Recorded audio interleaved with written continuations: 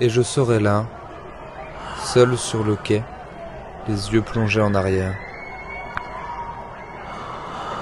J'y étais déjà, un jour où j'ai perdu tout ce qui faisait mon histoire. Ce jour trop long où celle qui peuplait ma tête, de son pas léger qui lui fit défaut, m'abandonnait à mes chansons. Ce jour-là, je jurais de revenir, de courir, dos à ceux qui m'attendaient. Je plongerai à rebours dans l'eau qui vieillit l'âme.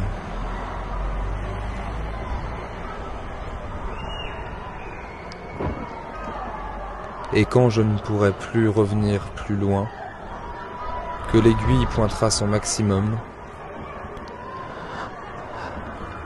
alors je trouverai les mots indicibles, les mots dont sont faites les larmes, ceux qui font voler les têtes multiples, ceux qui arrêtent les cœurs et animent les pierres.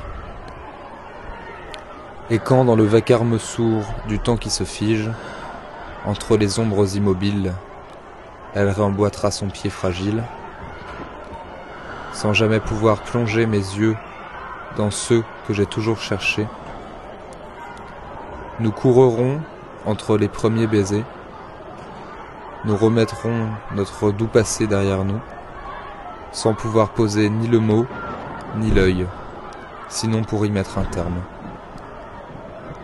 C'est seulement là que je comprendrai. Alors, serrant pour la dernière fois sa main trop froide pour être la sienne, je plongerai mes yeux dans les siens, et elle comprendra. Et elle comprenait.